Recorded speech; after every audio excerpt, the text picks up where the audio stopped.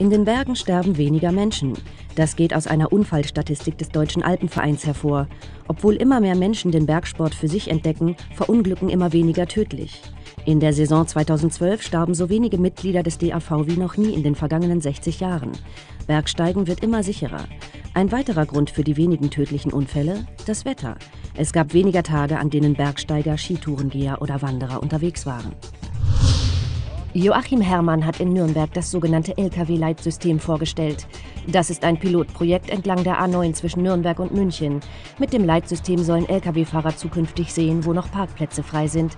So können die Fahrer ihre vorgeschriebenen Pausen einhalten, ohne verkehrswidrig zu parken. Das System soll Ende 2014 in Betrieb gehen und die ein- und ausfahrenden Lkw an über 20 Parkplätzen ermitteln. Dadurch kann dann festgestellt werden, wo noch Plätze frei sind.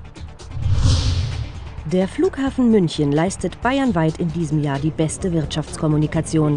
Das Ergebnis der alljährlichen Befragung des Wirtschaftsforschungsinstituts Dr. Döblin.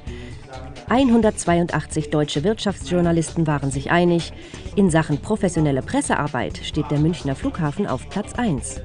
Die Pressearbeit sei kompetent, unkompliziert und kooperativ, so die Wirtschaftsjournalie. Warum die Unternehmenskommunikation so gut funktioniert, verrät der Leiter der Presseabteilung Ingo Ansbach. Wir haben auch immer spannende Geschichten äh, und das macht auch Spaß, das zu vermitteln. Und der Erfolg scheint ihm recht zu geben.